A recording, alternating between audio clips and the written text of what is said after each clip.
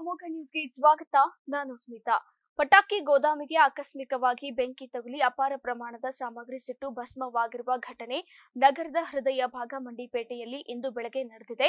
ಬೆಂಕಿ ನಂದಿಸಲು ಅಗ್ನಿಶಾಮಕ ಠಾಣಾ ಸಿಬ್ಬಂದಿಗಳು ಹರಸಾಹಸ ಪಟ್ಟಿದ್ದಾರೆ ಮೆಟ್ರೋ ಮುಂಭಾಗದಲ್ಲಿರುವ ನೇತಾಜಿ ಸ್ಟೋರ್ ಗೋದಾಮಿನಲ್ಲಿ ಪಟಾಕಿ, ಗ್ರಂಥಿಗೆ, ಸ್ಟೇಷನರಿ, ಪ್ಲಾಸ್ಟಿಕ್ ವಸ್ತುಗಳ ಮಳಿಗೆಗಳಿವೆ. ರಾಮಕೃಷ್ಣ ಎಂಬುವರಿಗೆ ಸೇರಿದ ಮಳಿಗೆಗಳು ಇವಾಗಿವೆ. ಅಕ್ರಮವಾಗಿ ಪಟಾಕಿಗಳನ್ನ ಶೇಖರಿಸಿ ಇಟ್ಟಿದ್ದರಿಂದ ಅನಾಹುತ ಸಂಭವಿಸಿದೆ ಎಂದು ಸಾರ್ವಜನಿಕರು ದೂರಿದ್ದಾರೆ. ನಿರಂತರವಾಗಿ ಪಟಾಕಿಗಳು ಸ್ಫೋಟಗೊಂಡಿದ್ದು ಜನರಲ್ಲಿ ಕೆಲಕಾಲ ಆತಂಕ ಉಂಟು ಮಾಡಿತ್ತು ಗೋದಾಮಿಗೆ ಹೊಂದಿಕೊಂಡಂತೆ ಮನೆಗಳಿವೆ. ಸ್ಫೋಟದ ಸದ್ದಿಗೆ ಸ್ಥಳೀಯ ನಿವಾಸಿಗಳು ಭಯಭೀತರಾಗಿದ್ರು. ಸುತ್ತಮುತ್ತಲ ಪ್ರದೇಶದಲ್ಲಿ ದಟ್ಟ ಹೊಗೆ ಆವರಿಸಿತು ಅಗ್ನಿಶಾಮಕ ಸಿಬ್ಬಂದಿ ಬೆಂಕಿ ನಂದಿಸಲು ಹರಸಾಹಸ ಪಟ್ಟರು ಮಂಡಿಪೇಟೆ ರಸ್ತೆಯಲ್ಲಿ ಎರಡು ಕಡೆ ಬಿಗಿ ಪೊಲೀಸ್ ಬಂದೋಬಸ್ತ್ ಮಾಡಲಾಗಿತ್ತು.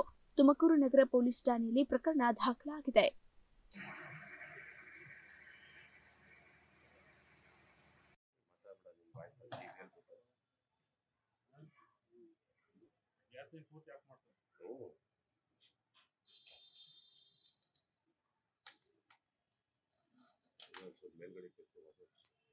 ಬೆಳಗ್ಗೆ ಬಂದಿದ್ದು ಇನ್ನೂ ಚೆನ್ನಾಗಿ ಸಿಕ್ಕಿಲ್ಲ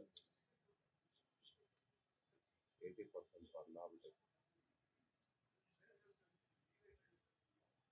ಅಯ್ಯೋ ಏ ಒಂಬತ್ತು ಗಂಟೆ ಆಯ್ತು ಹೋಗ್ರಪ್ಪ ಸ್ಕೂಲ್ ಯಾ ಏ ಅವರು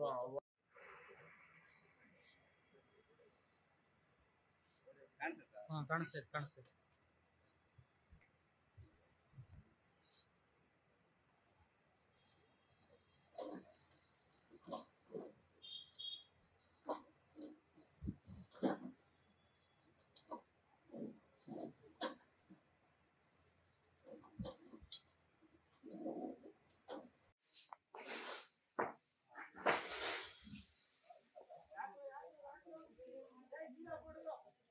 Enough.